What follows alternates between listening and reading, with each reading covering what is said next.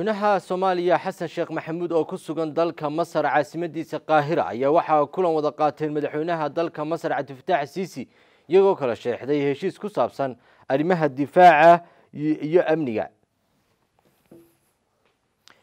Madaxweynaha dowladda soomaaliya xasan sheekh maxamuud ayaa maanta shir muhiima la yeeshay madaxweynaha dalka masar mudane cabdifataax siisi shirka oo ka dhacay magaalada qaahira ayaa waxaa ka qayb galay wasiiro ka tirsan labada dowladood kuwaasoo qayb ka ah wadaxaajoodyadii lagu gaari lahaa heshiisyada muhiimka ee iskaashiga difaaca iyo amniga ee soomaaliya iyo masar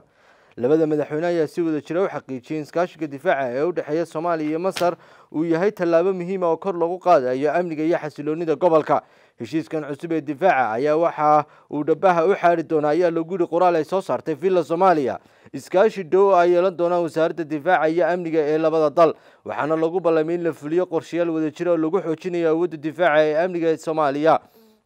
kadib kulanka madaxweyne xasan sheekh maxamuud iyo madaxweyne cabdifataax siisi ayaa qabtay shir jira-id oo ay uga warbixinayaan nuxurka heshiiska la gaadhay qorshayaasha mustaqbalka ee labada dal. Labada madaxweyne ayaa adkeeyey muhiimadda ay leedahay xoojinta xiriirka labada wadan ee walaalaha ah iyo iskaashiga dhinacyada kala duwan. Iyagoo ka hadlay arrimo kale oo muhiima oo saameyn kule gobolka iyo xasiloonida qaaradda ayaa lagu yihi war-saxaafadeed ka soo baxay villa soomaaliya.